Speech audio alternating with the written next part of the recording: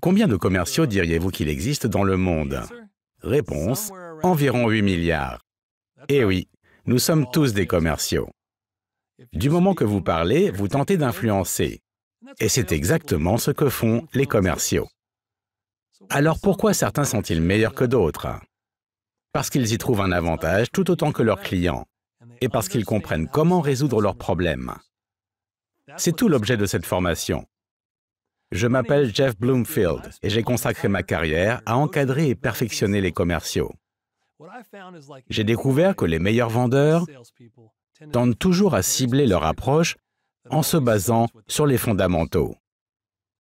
Je veux vous montrer comment avoir la bonne mentalité, savoir ce que vos clients pensent et identifier vos meilleurs prospects avec leurs problèmes, sources de motivation et obstacles.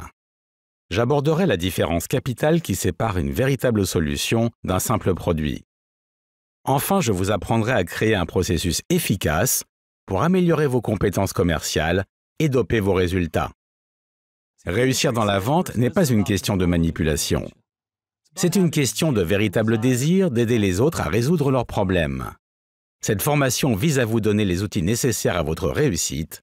C'est parti